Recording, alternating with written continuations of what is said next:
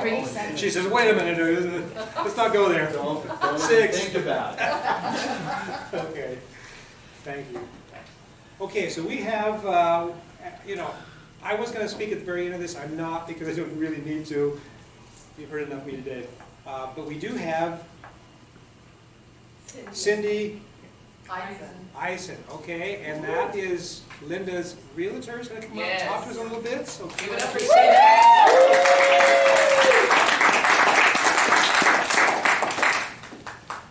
Thank you. Um, Just gotta get this computer hooked up. I'll help you get it hooked up and going. That'd be great. and uh, see if we can make this all work. Right. Okay, now you have HDMI. Yeah, it's right here. Oh, that's you, too? Sorry. Thank you.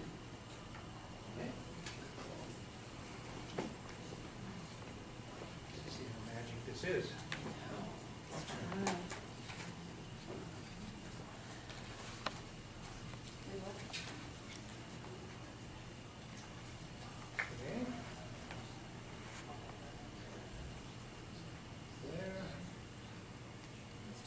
Sometimes we have to do a little toggling. Again? Let's see. I'm sorry, I would have had it set up, I thought we were having another break. Okay. Apologies. And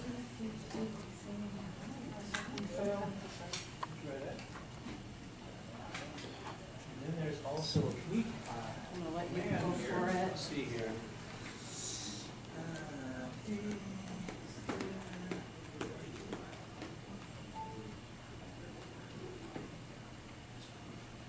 Is, is that the background screen you have there?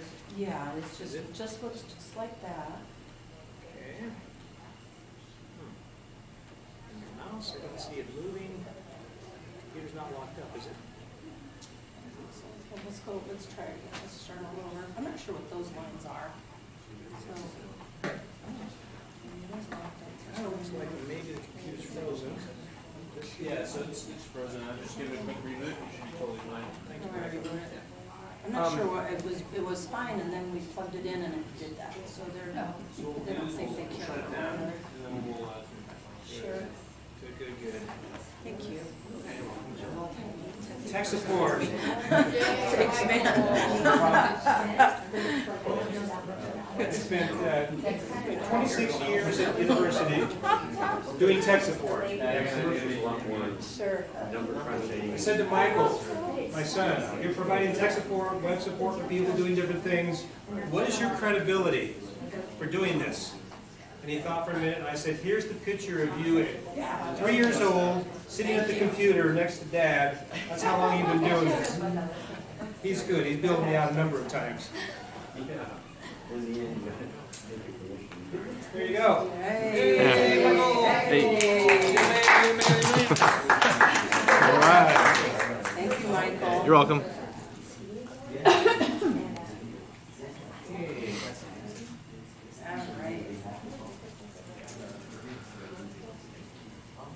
Anybody uh, out there today interested in where you could get a five, four to five percent cap rate Yes. In California. in California? Um, All right. No, it should be all good.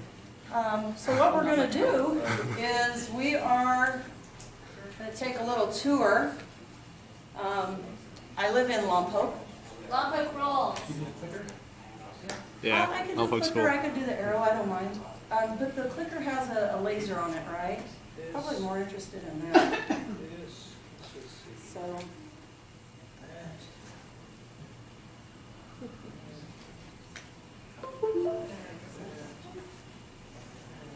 So, um, it, I know from being in the office that a lot of people, they don't know where Lompoc is, and sometimes they've been there.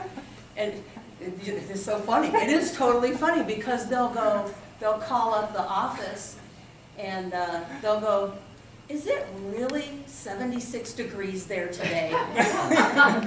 And you're like, you know, and then there's always the dead giveaway. It's like, Lompoc, where is Lompoc? You know, and they, they say it like that, and you're like, okay, let's start from the beginning. So, Lompoc is the correct pronunciation. It is a Chumash word, it means little lake. And there's, I don't really know what little lake they're talking about because there's like some springs, some natural springs, but there's no like water skiing or anything like that. So Lompoc is a Chumash word. That's the correct pronunciation. When you call Coldwell Banker Select Realty in Lompoc, just ask for that. And uh, Susan is my colleague. She is going to help me today and give some handouts for you. And we're just gonna, what we're gonna do is, in preparing for this, I'm like, you know what, I'm gonna do it, because I knew a lot of people were not familiar with it. Uh, I thought, you know, I'm gonna do it like a real estate agent, because that's what I am. So about fifty to fifty-five miles north and west is where Lompoc lies. And when you drive in on Highway One, the Pacific Coast Highway, this town is on PC the PCH, so the iconic drive from LA all the way up, you will go through this town. And this is the first sign that you will see when you arrive there. And so, yeah, we do embrace, it's the city of arts and flowers. It used to be the flower seed capital of the world, but we had to change a little bit, and I'll tell you why in a minute. We embrace um, local artisans. We do, um, there's a lot of painters and crafters. We have a mural society, and so I've woven the murals in to the slideshow because they depict Lompoc in the past, the present, and in the future. It's kind of fun. This is Monarch Madness. And you can go throughout the town on a walking tour and you can see these murals painted on the sides of some of our old buildings and some of the newer structures. This is uh, depicting one of the first mansions in Lompoc, so old times. Um, very fun. And of course, the flowers. Uh, we were, the Bodger Seeds was huge in Lompoc. And they started by harvesting mustard seeds. And so that whole flower seed thing got started because of that. So after the mustard, they started growing other things. Stocks, delphinium, uh, bells of Ireland, lobelia, marigolds, all of it. And they harvested seeds now the focus isn't so much on the seed collection, but more on the cut flowers. And when you come in springtime, it does look like this. Sweet peas just in abundant bloom with sweet fragrances on the breeze. It is really super cool. So I'm hoping by the end of our talk today, one, you will be inspired to take this day trip. So everybody be kind of thinking of maybe just two things that you might like to drive to Lompoc to do. It's a great way to just spend a day and then be back home pretty quickly, right? Yes. You can get out of there just as well. You can get out of there just as well. There's no traffic, I mean, it's, it's really a great destination. Got a question for you. Yeah, sure.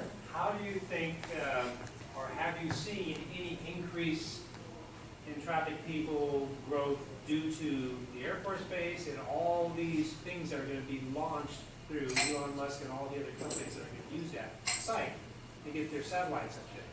People like to go watch launches, do you see anything happening there? So here's a joke on the whole launch affair. And on the base, when you come to Lompoc to watch a launch, they say it is the greatest, most fantastic launch you've ever heard. And that's because it's foggy.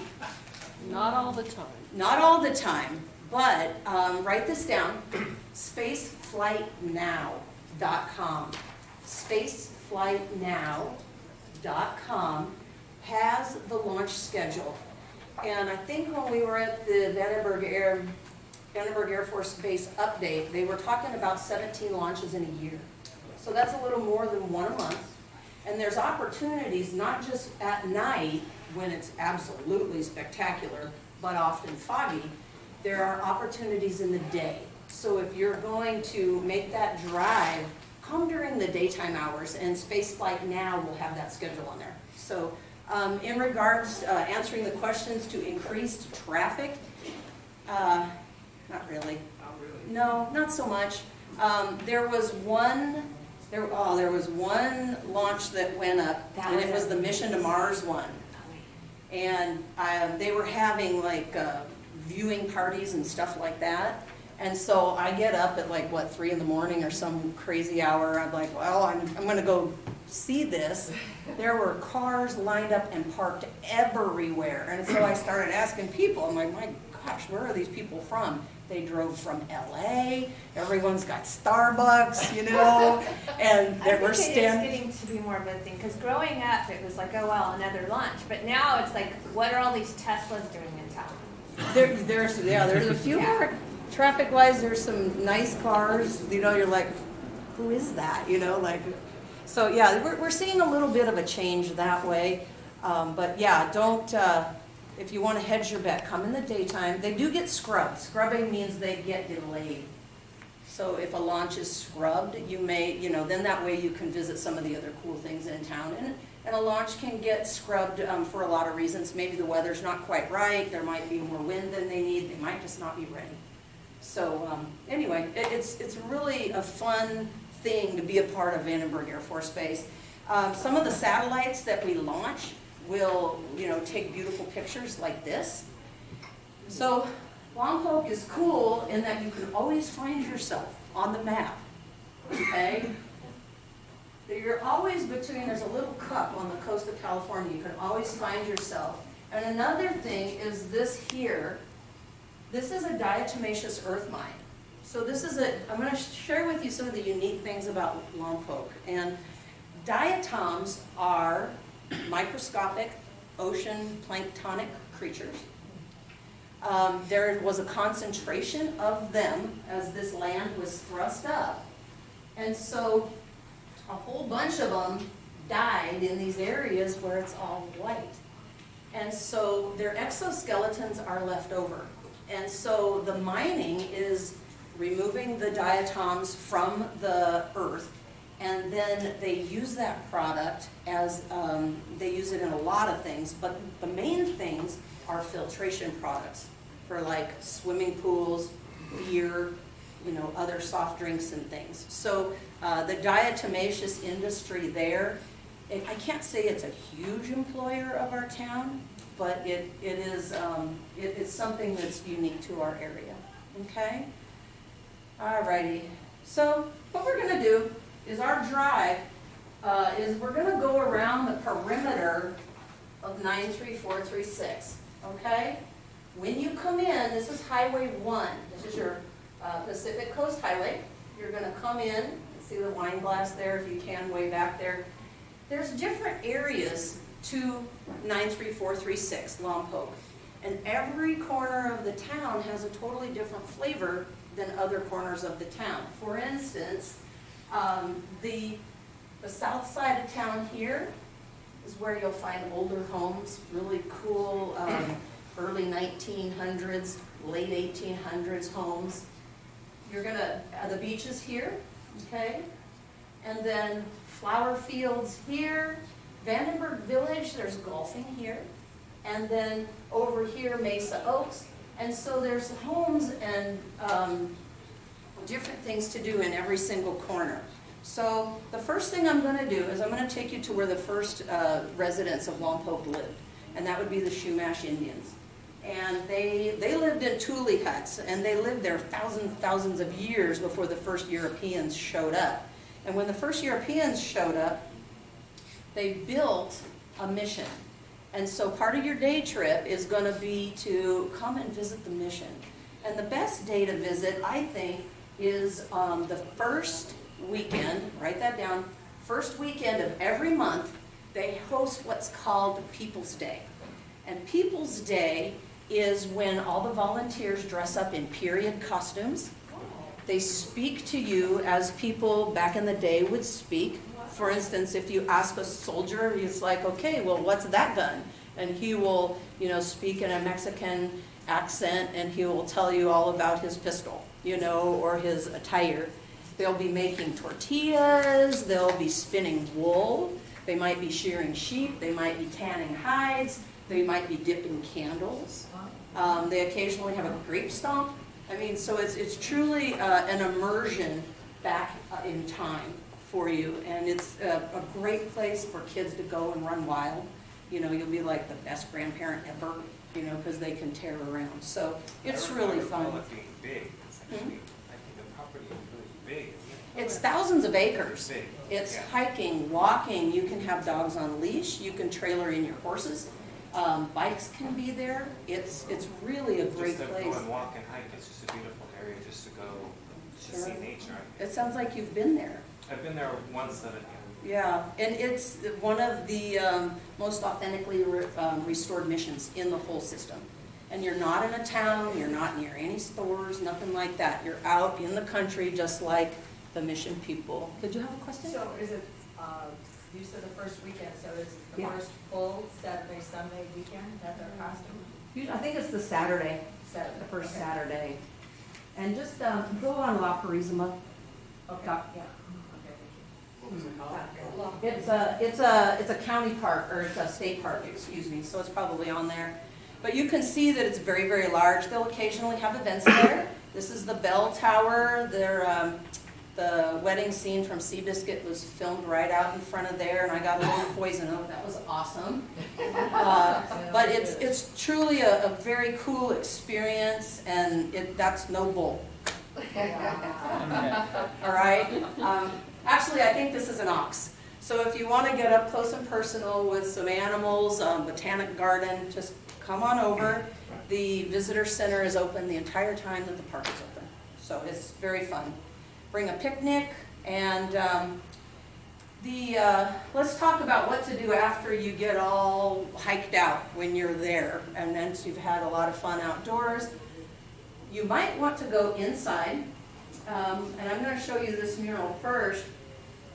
Back, um, the Lompoc Land Company, first, okay, how many of you guys, uh, live in Santa Barbara? Anybody live in Santa Barbara? Okay. All right, think about five hundred thousand dollars.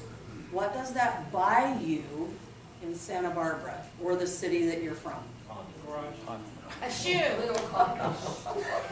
Okay, and so my point.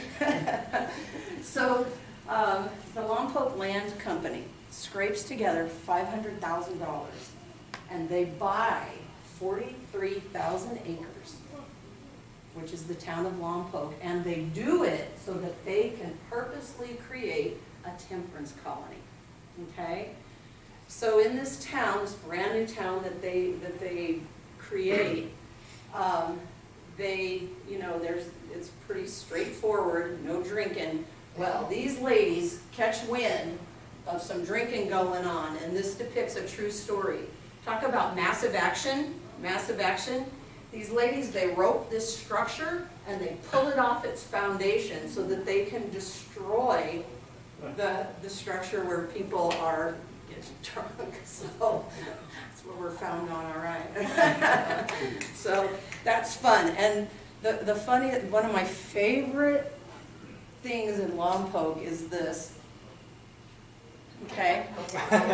I don't know what they would think about this.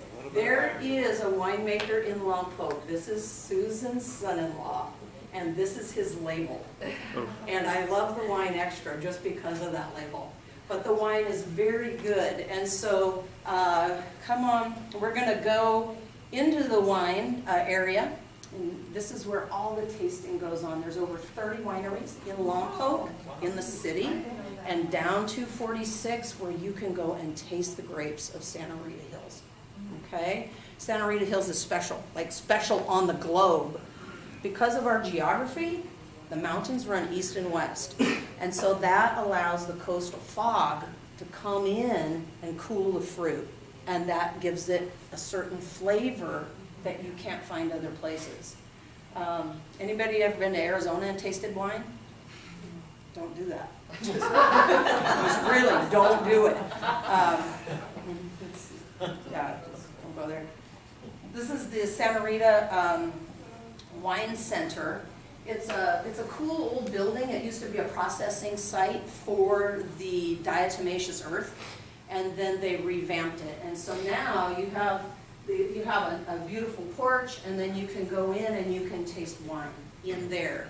And it doesn't ever really get crowded, but it gets a little hopping on the weekends, and so if it's a little too busy for you, all you have to do is cruise like half a block, and you're gonna be in a different industrial kind of area in the wine ghetto. Anybody heard of the wine ghetto? Okay, good. Um, it's, it's not really ghetto. It, it's, it's industrial. It's an industrial area.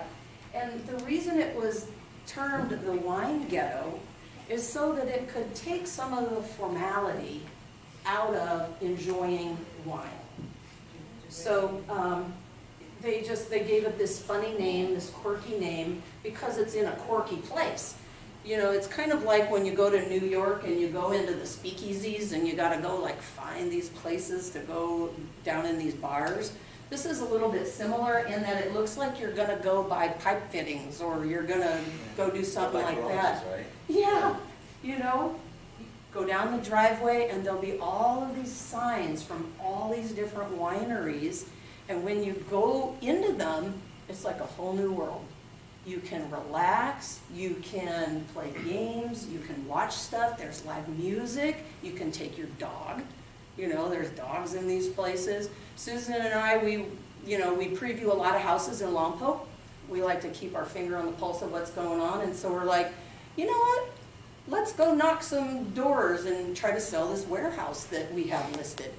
So we were like, let's go to the wine ghetto. And so we went in these places and the- each one is totally different. And the wines are very different depending on how the winemaker mixes their grapes. So you can have a lot of fun there, but be careful because we do not want you ending up here. Okay, this is the Lompoc Valley Medical Center.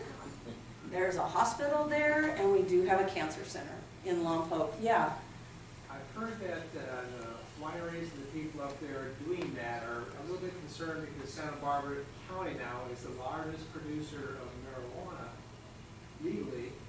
Do you have any sense of what's going on in Lompoc with that whole issue? Yeah, sure. Um, cannabis is part of our lives now. It just is. Uh, sometimes there's communities, they don't really like to talk about it, you know? Yeah, I- So I was over there, right? And this guy goes, so, this real estate agent, he goes, hey, so, talking kind of low, you know, he goes, so, uh, do you mind if I ask you about cannabis?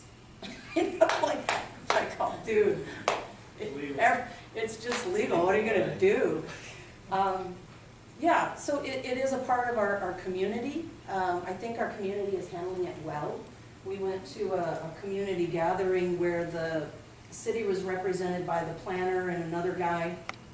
The police department was there, the fire department was there, a cannabis grower was there. And they, um, they had said that they were all collaborating. They talked to other, other cities where cannabis was legal. And they were, um, asking them for assistance on how to do this in a way that it, you know, that it would not detract from the community. So it's new, you know, this is still new. I think the voting is still out. We don't really know yet. Um, So, but changes. No real changes to the town. You should go check